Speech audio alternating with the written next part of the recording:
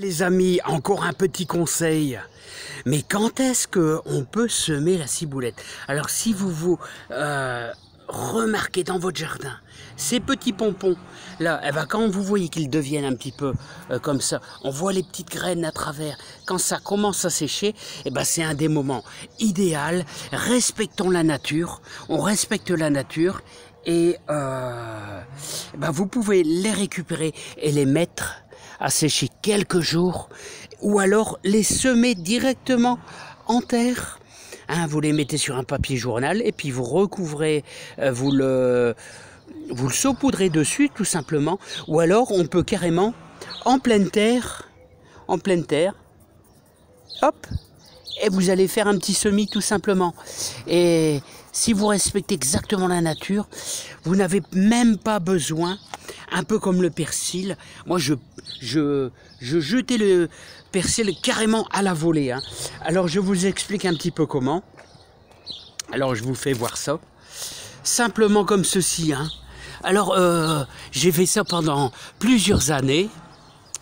Et euh, je le jetais comme ça carrément à la volée. Vous voyez dans, dans ce coin-là, un petit peu d'humidité et hop, vous avez votre persil.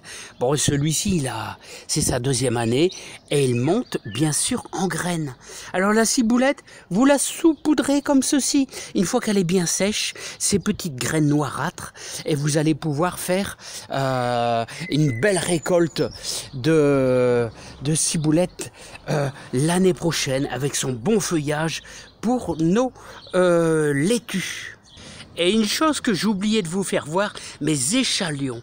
Hein, euh, les échalions. Alors c'est une... Je suis très content.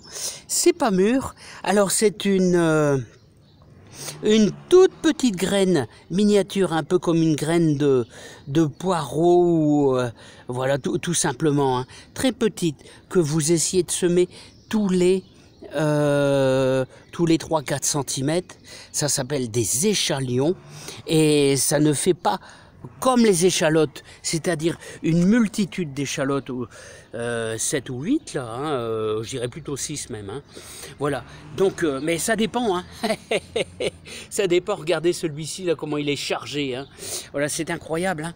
Et donc, ce que je veux vous dire, c'est que l'échalion, lui, va, nous faire une grosse bulbe, mais oh, la récolte sera d'ici un mois, un mois et demi. Voilà, donc là, il est trop tard pour semer de l'échalion trop trop tard, mais euh, je pense que je continuerai dans cette voie-là, les amis. Voilà, en tout cas, moi je vais récupérer quelques pompons. Là, vous voyez, quand ils deviennent noirâtres, on voit les graines à l'intérieur. Je ne sais pas si vous les voyez, ces fameuses graines. Et là, et je vais me faire un petit semis de, ces fameuses euh, ciboulettes. Excellent. Allez, je vous dis à bientôt. Donc, c'est le moment si on respecte la nature, c'est le moment de semer de la ciboulette. Et pourquoi pas un peu de persil aussi, hein Allez, allons-y gaiement. Et n'oubliez pas le persil.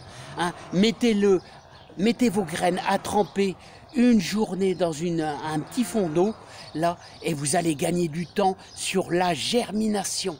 Allez, à bientôt.